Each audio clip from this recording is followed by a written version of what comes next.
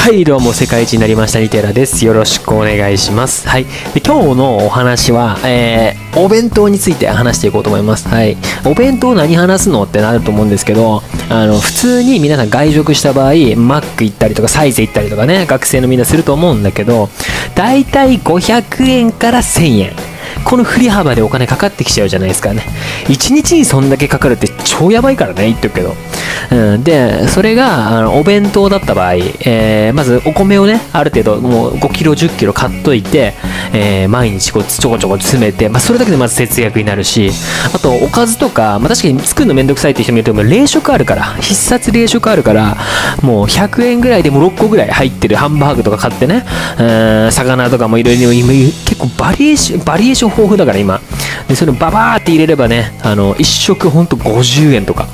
100円とかのね、世界にすることもできるんで、あの、めっちゃ節約になります。めっちゃ節約になる。で、今だからこそ、今めっちゃ不景気じゃん。ね。めっちゃ不景気だからこそ、ここ使っていこうぜっていうね。ここ使っていこうぜって話になってるから、ちょっとそこはね、あのー共有していきたいと思います。はい。僕もやっぱね、ピンチにならないと人間頭使わないんですよ。